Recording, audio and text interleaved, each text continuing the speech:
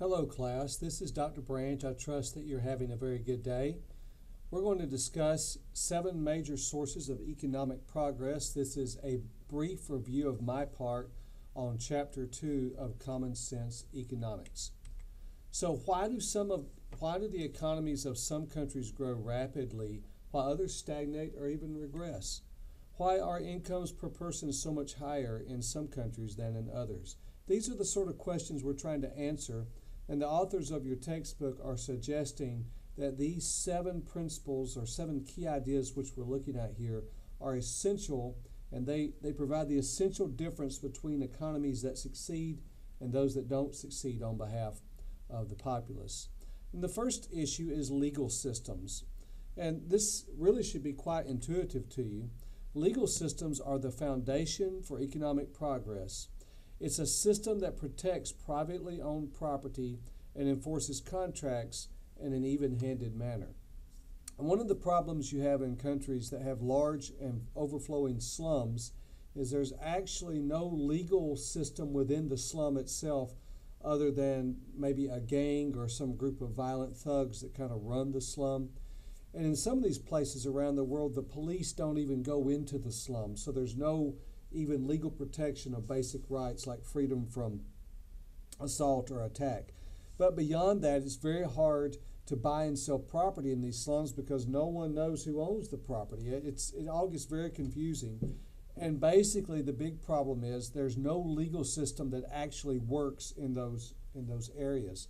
So you have to have a legal system that protects private property. If there's no protection for me to own private property and then invest it and to use that property in such a way to produce a product, then I'm if I can't be certain that it's going to be my property tomorrow because the legal system's so flawed, that really discourages me from investing in, in entrepreneurial decisions. And furthermore, contracts have to be enforced in an even handed manner. What this means is you have a legal system that's free from the nasty practice of bribes where if I have a disagreement with someone, it's not really who's right or wrong. The question is, does that person offer a bigger bribe to the government official or judge than I do? So you have to have a legal system above everything else. This should make good sense to you from Romans 13 that we, uh, verses 1 through 7, government is established by man to, excuse me, government is established by God to keep man from exploiting each other because of our sinful nature. The three essential elements of private property ownership are right to exclusive use, legal protection against invaders, and the right to transfer the property to another person, especially this issue of exclusive use. For example, I have a 2001 Toyota 4Runner, and it is my personal property. I have the right to own that as, uh, as no one else does for my own personal use. If I did not have that right, that means anyone could come up to me and say, hey, I'm going to take your car right now and use it, even though it's technically yours if I lose the right to exclusive use, I really don't have ownership. What does the Bible say about private property? Well, first of all, God is the king of the universe and he owns everything, he's sovereign. Uh, Psalm 50 says this If I were hungry, I would not tell you, for the world and everything in it is mine. For the earth is the Lord and all that is in it. It's what 1 Corinthians chapter 10 says. Ownership of property is regarded as a stewardship to be governed by the Word of God. Here we're dealing with the mandate from Genesis chapter 1, verse 26, 27, and 28, where we are to rule the earth and subdue it, not exploit the earth, but we are to have dominion over it. And so part of that is stewardship of the property we own. And possession of property is a way for the godly to fulfill their dominion assignment under God. The commandments, thou shalt not steal and you shall, shall not covet, are meaningless unless there are prior owners responsible to God. Karl Marx hated private property. Marx and Engels declared in the Communist Manifesto that to right to hold individual private property was a crime against the state. I will say quickly, they tried to discern between personal property and private property. For Marx and Engels, personal property was something like your coat or your belt or your shoes or something like that, and you have a right to own that. But what they denied was that people had the right to private ownership of the means of production. And so that means farmers shouldn't own their land, and you shouldn't own a business that produces lawnmowers or, or CDs or MP play, MP3 plays or anything else. Those should all be owned by the state. And the first commandment of communism called for the op- ab- abolition of property and land and application of all rents of land to public purposes. And their third commandment ab- abolished all right of inheritance. I have no right to bequeath my 26 acres in Alabama to my daughters, according to Karl Marx. On the state to own all those things. This is a quote from the Communist Manifesto, Chapter 2 in English. Quote, the theory of the communist may be summed up in a single sentence abolition of private property. Now, closely related to his disdain for, for private property, this was closely tied to his great enemies, Marx, I mean, were the biblical God and the family. He saw these as linked together as the great champions of private property. And private ownership of property for Marx and Engels was the cornerstone of the family, and the family the key institution of biblical religion. To abolish private ownership of property, Christianity had to be attacked as well as the family. So his attacks against God and his atheism was almost kind of a pragmatic atheism because if he got rid of God, he could accomplish the goals he wanted. Attacks on private ownership are also attacks on the family. I, I, want to stress this that Marxism hates the family. He wanted to destroy the family's independence and instead wanted it to be dependent on the state. He did not want people to trust that, hey, I'm farming this land, my father's going to bequeath it to me, and that's how I'm going to take my, care of myself after dad dies. No, he wanted the state to own all that. And the real goal here was he wanted the state to take the place of the father and mother as the provider. Just to give you an insight into this, there's echoes of this in our own nation.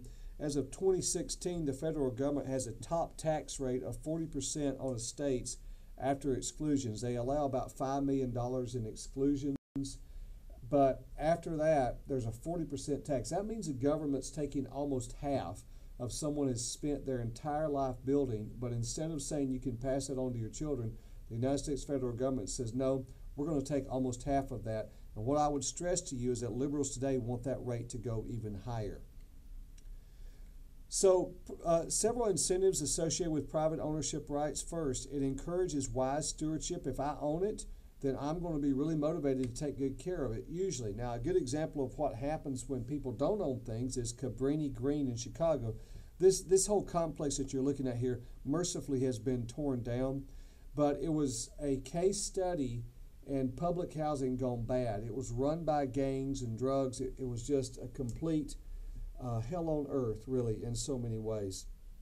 And what happened was the people did not own the property and yet no desire or really no motivation to take good care and manage the property. And it just did not work out. And this has been multiplied several times across the United States. It encourages people to use their property productively. Uh, this is an interesting example out of your book. In the Soviet Union, after they collectivized all the land and the state took it over, they allowed certain families to keep one acre plots on which to grow their own food and something they might sell, almost like a truck farm. You've seen these little things around cities where people bring in their homegrown tomatoes and things to sell. Well, even though these small plots accounted for only 2% of the total land in cultivation during the Soviet Union, they provided 25% of the total value of the Soviet agricultural output. They, they disproportionately provided more food. Why? Because when you don't own the land, you're not motivated to manage it properly. But when you do own it, you are motivated to manage it as a resource that can continue to reproduce and is sustainable over long periods of time. Uh, another incentive is private owners have a strong incentive to develop things that they own in ways that are beneficial to others. This goes back to the textbook's emphasis on free markets. And so if, if I develop something that is beneficial to you, you want to buy it, you get a derived benefit, I earn a profit. It's a win win deal.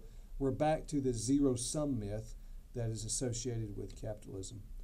If owners develop their property in ways that others find attractive, the market value of the property will increase. This just for example, if someone has a piece of land that's a rundown strip mall and they buy it, tear down the strip mall and replace it with something lovely and attractive, other people want to be around there. It raises the property value of everyone in the community.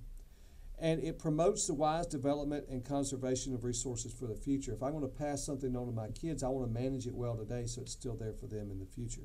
Here's what I want you to know Societies that promote private ownership have a far better track record in environmental management than countries which do not do so. Now, that doesn't mean they're perfect. We talked about the dangers of bad things like hydraulic mining and things during, during the 1800s. But I'm saying as the trajectory, the trajectory is much better.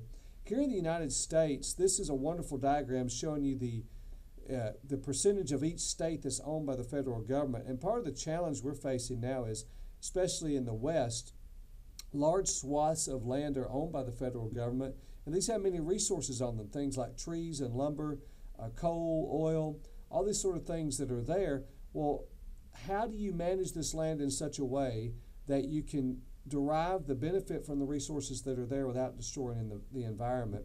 Some people's answer is just don't do anything with it, but that doesn't seem to be a good management of the land to me. So, anyway, that's just sort of the question we're looking at. But this is uh, the Aral Sea. This is an inland sea in the former Soviet Union. And I want you to look at the difference between 1989 and 2014. And it had already shrunk considerably in 1989. What you're looking at is the Soviets cut off all the water going to the Aral Sea. It's nothing but salt flats now. It's horrible. This used to be a sea that teemed with fish and people could derive resources from it. And it, it, it really helped that area and that region of the world. Now it's just almost completely gone because the Soviets' poor management of water going into it. There's a lot more I'd like to say, but I'm going to scoot past some of these. Um, I would point this out to you very quickly. When you have competitive markets, there's gradually going to be an, uh, an improvement in the type of products that people get. Look at the trajectory from a gramophone to a record player to an 8 track to cassette tapes to CDs all the way now to MP3 players. And this happens because of competitive markets. Uh, let me just say this about government's role. The Bible makes it very clear, 1 Peter chapter 2, that we have to have government and it has a role. It says they are sent here by him for the punishment of evildoers and the praise of those who do good.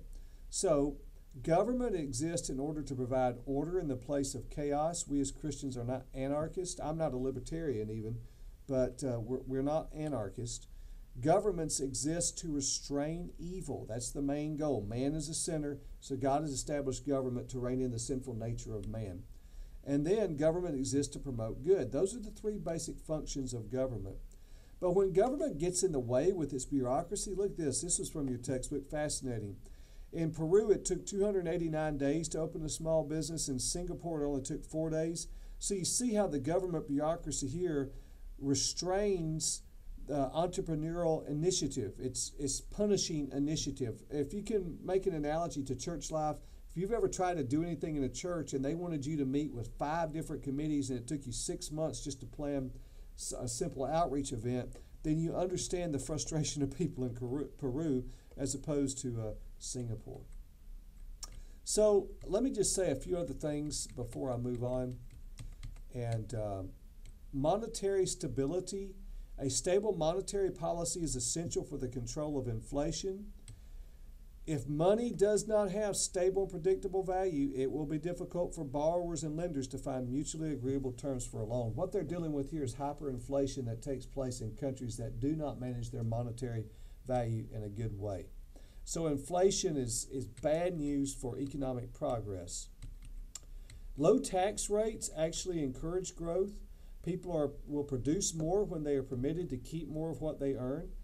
Uh, when high tax rates take a large share of income, the incentive to work and use resources productively declines. I strongly agree with the textbook here. There's a lot of discussion today about the rich paying their fair share.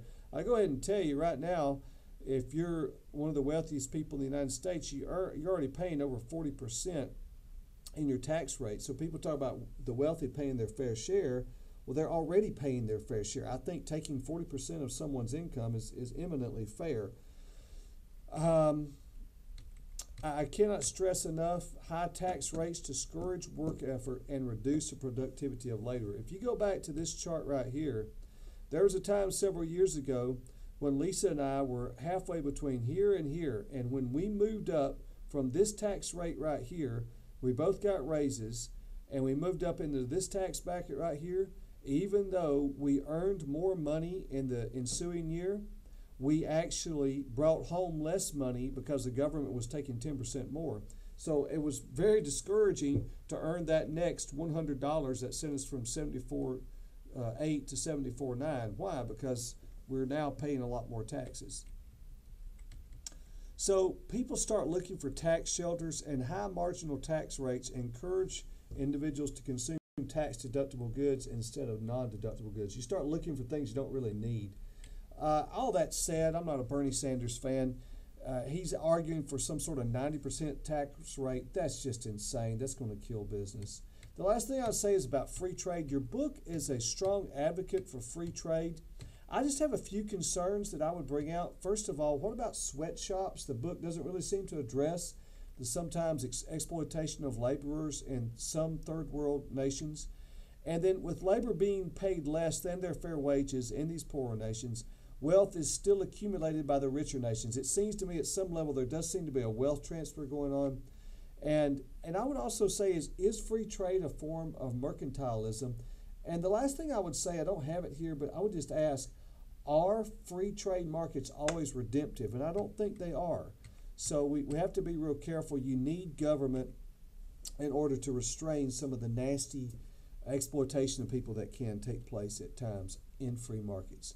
I hope this has been helpful for you as you review this chapter of uh, Basic Economic Progress.